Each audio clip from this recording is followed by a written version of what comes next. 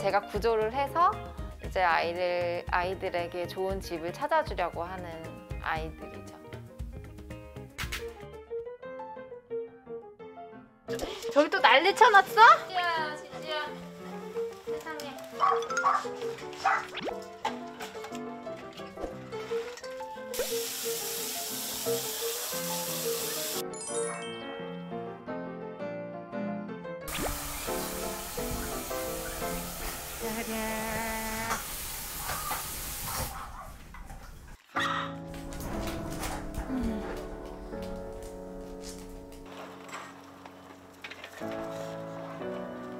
눈 한쪽 없는 애기.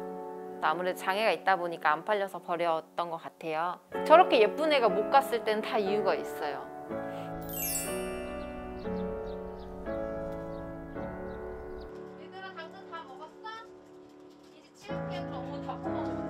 근데 저 되게 신기한 게 아이들을 이렇게 데리고 와서 보면 얘가 언제 왔다고 나한테 이러나 싶은 아이들이 있어요.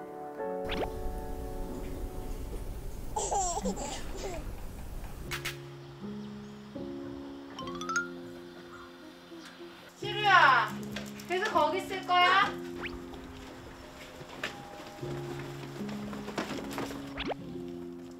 시루 맛있는 거 먹을까?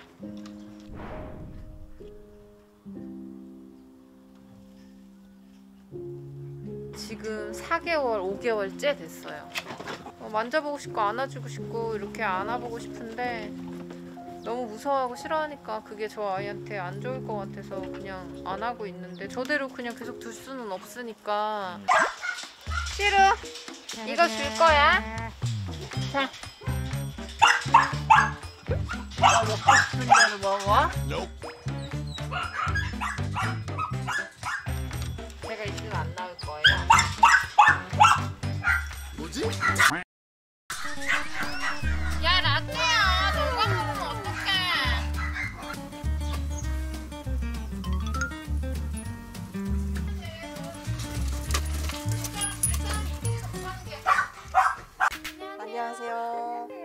안녕하세요.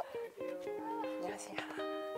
엄청 떨어요 사시나무 떨듯이 간식 주변으로 받아볼까요?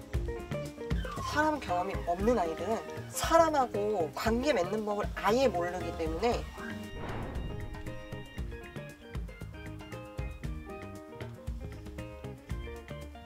시루하고 뭔가라도 해보려면 시루가 지금 숨어있는 이런 공간들이 좀 없어야 돼요.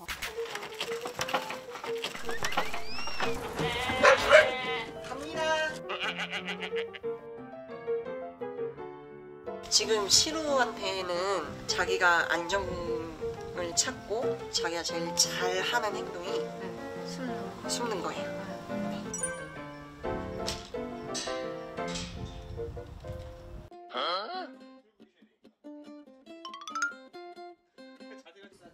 이렇게? 자세가 좀 웃긴데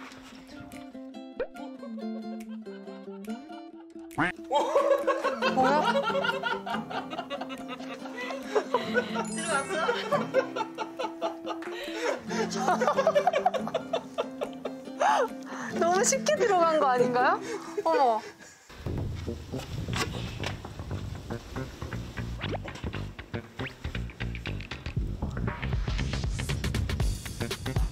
구멍 좀만 열어주세요.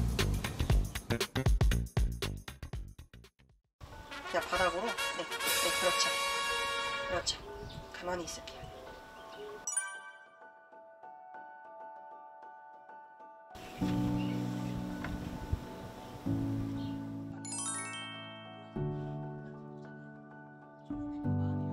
제 노력이 잘못됐었던 것 같기도 하고 그 방법을 모르니까요 아이한테 어떻게 다가가야 하는지를 잘 몰랐던 것 같긴 해요